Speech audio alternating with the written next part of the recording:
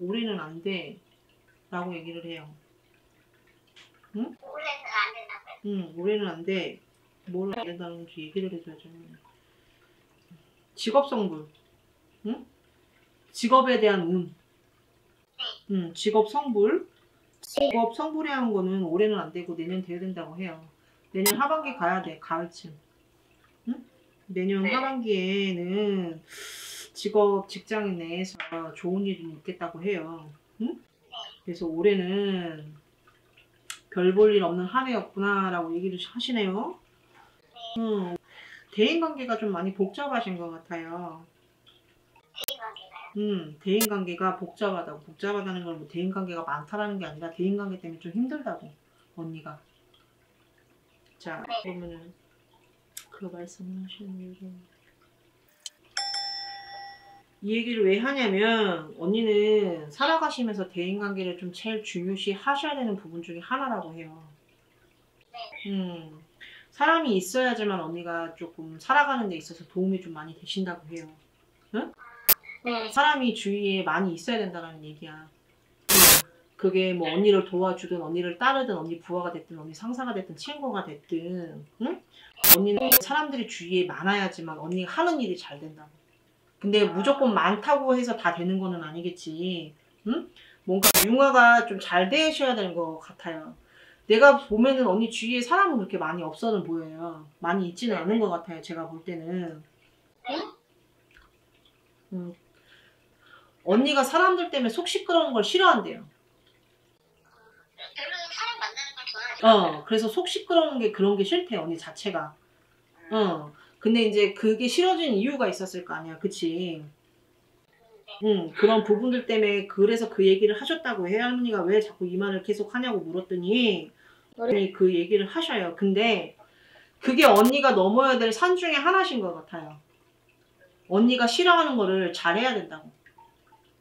싫어하는 걸 잘해요. 그렇지. 언니가 사람 만나서 이렇게 속- 막 이렇게 속 시끄러운 걸 별로 싫어하다 보니까 그냥 대인관계가 이렇게 원만하지가 않잖아요. 근데 그거를 언니가 이겨내셔야 된다고. 그래야 언니 하는 일이 잘 풀린다고 해요. 사람마다 다 다르기는 한데 언니는 특히나 내가 싫어하는 거를 잘 해야지만 되는 분이라고 하시네요, 어른이. 뭐든 그게 뭐가 됐든. 근데 그 중에서 제일 으뜸은 대인관계. 음. 뭐 사람한테 속았는지 뭐를 했는지 당했는지는 모르겠으나 그냥 자체를 믿고 싶지 않대요 언니가 응 그런 것도 좀 있고 그냥 막 이러고 저러고 얽히고 설키고 이런 것도 싫고 굳이 내일 아닌데 신경 쓰고 싶지 않고 네, 맞아요. 어. 그렇다고 언니가 이기적인 사람은 아닌데 그냥 만사 귀찮아 언니가 네. 사는 게 힘들다 보니까 고달프다 보니까 그냥 나 먹고 살기도 바빠 죽겠는데 남까지 신경 쓰고 싶지 않은 어 마음에는 쓰는데 그냥 굳이 이렇게 몸소 실천을 안 하는 형이기는 한 것 같아요. 그렇다고 언니한테 희생을 하려고 살라는, 살라는 게 아니라 적어도 사람들하고 할 말은 좀 하고 살고 응? 부딪히래도 좀 뭔가 풀어 나가길 좀 바라시는 것 같아요 어른들이. 응. 뭐 지금도 나는 이렇게 살아도 만, 뭐 만족해요 하면은 굳이 안 그래도 돼. 하지만 내가 볼 때는 언니도 욕심은 없는 사람은 아닌 것 같아요. 네. 그래서 그거를 내가 욕심 낸 만큼 가지려면 첫 번째 대인관계. 그래야 돈이 들어와요 언니는. 아, 그래요? 음. 사람이 주위에 많고 사람하고 잘 지내야 돈이 들어와요. 생각지도 않게. 그 사람들이 돈을 준다는 얘기가 아니라 내가 못하는 거를 내가 풀어야지만 인간에서 뭔가 노력을 해줘야지만 어른들이 도와준다고. 어 언니한테 돈을 이렇게 주면 그냥 주머니에다 쏙 넣어주는 게 좋잖아. 그치? 근데 언니 주머니에 쑥 넣어주기가 힘들다고 어른들이. 응 왜? 그렇게 언니가 해줘야 어른들이 힘이 차니까 쉽게 말을 하면 이거 쉽게 설명을 해주는 거예요. 네네. 어 언니가 그렇게 해줘야 어른들이 삘 받아서 그때 언니 주머니에 자꾸 돈을 넣어줄 수 있는 힘이 생긴다고. 어 그거를 인간인 언니가 노력을 좀 해주셔야 된다고 해요. 어, 너무 나몰라라고 살아 언니가 좀 매정한 사람처럼 매정한 사람이 아닌데 매정한 사람처럼 언니가 그렇게 살려고 해요. 그러시면 안 돼. 어, 음, 언니는 사람이 주위에 많아야 돼요. 어, 그거 꼭 명심하라고요. 언니는 그것만 잘해도 바로 먹고 들어간대요. 왜? 언니가 제일 하기 힘든 게 그거라. 음, 언니가 내 말은 알아듣는데 이게 쉽게 동요는 안 될 거라 그래요. 왜 언니가 그게 제일 못하는 부분 중에 하나이기 때문에. 음. 근데 이거는 하기 싫어도 하셔야 돼요. 쉽지만은 않지만 뭐 하루아침에 이걸 한꺼번에 바꿀 수는 없어요. 근데 이제 이걸 서서히 조금씩 조금씩 노력을 좀 해, 하셨으면 좋겠어요. 음.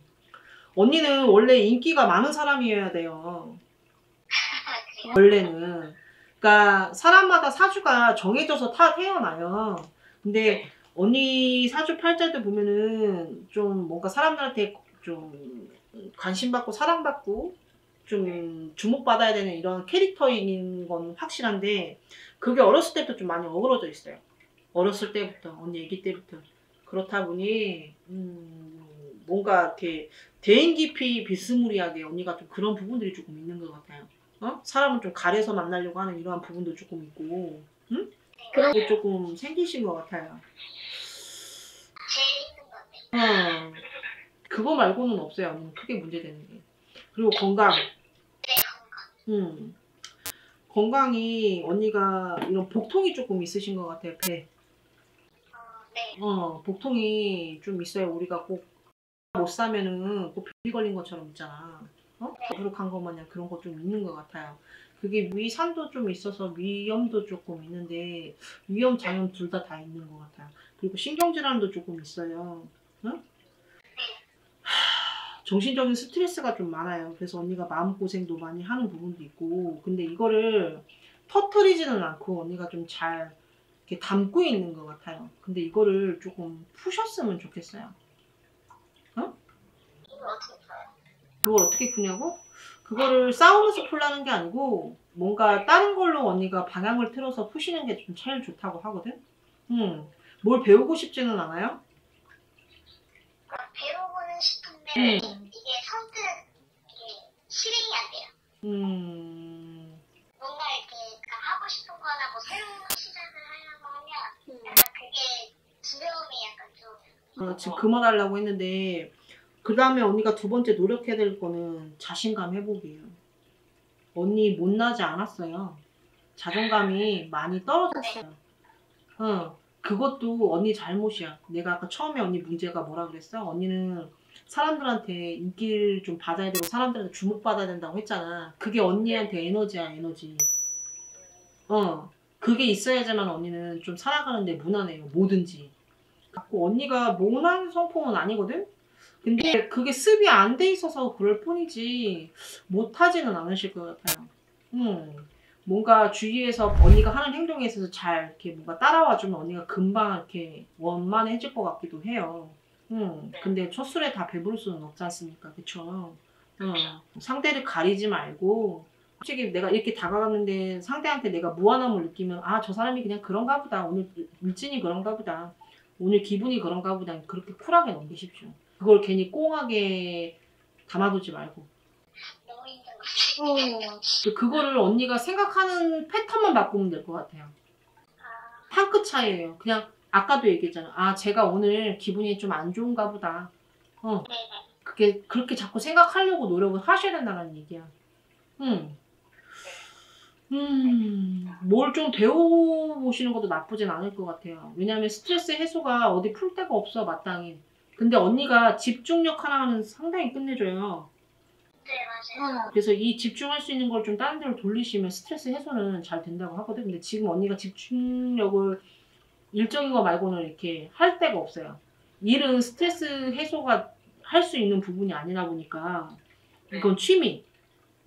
취미 개념이라든지 아니면 내가 새로 뭐 라이센스 따는 개념이라도 뭔가 내가 다른 거에 집중을 하면 이게 스트레스 완화가 좀 된다고 하거든. 마음이 좀 차분해지면서. 음, 그래서 어, 하세요, 그냥. 어, 자존감, 자신감 생각하지 말고. 잘 하면서 그래. 못하면 언니한테 하란 말도 안 해요. 잘 할 수 있는데 언니가, 언니가 안 하는 거예요, 언니가. 근데 그걸 자꾸 언니 스스로가 이겨내셔야 될 것 같아요. 지금도 안 늦었으니까. 어, 저는 40 중후반 때 이걸 좀 잘 잡으셔서 그때라도 좀 확 피셨으면 좋겠어요. 어, 말년은 상당히 좋거든요. 근데 운이 좋다 그래서 내가 무조건 다 잘 되는 거는 아니에요. 네. 운이 좋으면 그걸 내가 써먹어야지 나한테 좋은 거지. 그 좋은 운만 있다고 해서 좋아지지는 않거든요. 어. 그때 가서 좀 써먹으려고 하면 지금부터라도 조금 차곡차곡 사람하고 좀 대인관계 유지하시면서 하실 말실도 좀 하고 사십시오. 바보처럼 굴고 있지 말고. 언니야, 언니가 막 아무도 몰라요. 음, 언니 할머니가 언니 무시당하는 거 싫대. 음, 무시당할 사람도 아닌데 자꾸 무시당하니까 언니가 더 기가 꺾여서 어른들이 좀 더 역정을 내시네. 음. 그 내년 하반기에는 어, 직장 선물, 직업 선물이 반드시 있을 거라고 해요. 근데 그게 크지는 않더라도 그래도 고생한 보람은 있을 거라고 하시네요, 어른이. 음, 근데 그 직업이 음, 제가 음. 음, 지금 그거 계속 하고 계실 것 같아요. 내년에도. 어. 계속이요. 음. 왜 변경하시려고요? 지금 변경 할 수 없는데. 아니 계속 몇년 전부터 고민을 계속 하긴 하는데 음. 그 적성이 잘 맞아. 아 그건 맞아요. 적성이 잘 맞긴 맞아. 한데 음. 아, 이걸 언제까지 해야 되나 약간 그런 생각도 좀 들어가지고 음. 계속 하셔도 상관없고 업종 변경을 하셔도 상관은 없는데 어, 지금은 아닌 것 같아요. 좀 더 있으셔야 될 것 같아요. 4, 5년 정도는. 음. 4, 5년이요? 음. 4, 5년 정도는 좀 더 지키셔야 될 것 같아요. 그 자리에서. 뭔가 특별하지 않은 한 언니가 마음을 정말 독하게 크게 음, 먹지 않은 한은 힘들어요. 선뜻. 일단 그래서 언니 자신감, 자존감 회복이 우선인 것 같아요. 음, 음. 힘내세요. 언니 모난 사람 아니니까 자꾸 자책하지 마십시오. 네 감사합니다. 겁먹지 말래요. 하기 전서부터. 할머니가. 음. 더 하실 말씀 있으세요? 아니요 딱히 뭐 없습니다. 알겠습니다. 네, 건강하세요. 네 감사합니다. 네. 땅분